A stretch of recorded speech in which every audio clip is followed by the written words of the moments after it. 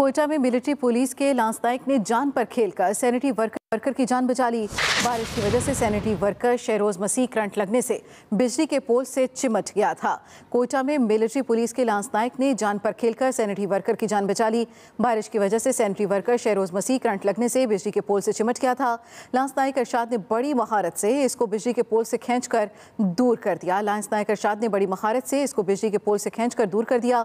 Military police के lance नायक ने अपनी जान पर खेलकर सैनिटरी वर्कर की जान बचा ली। इन्फेंट्री स्कूल में बारिश की वजह से sanitary worker Sheroz Masih current लगने से बिजली के पोल से चिमट गया था।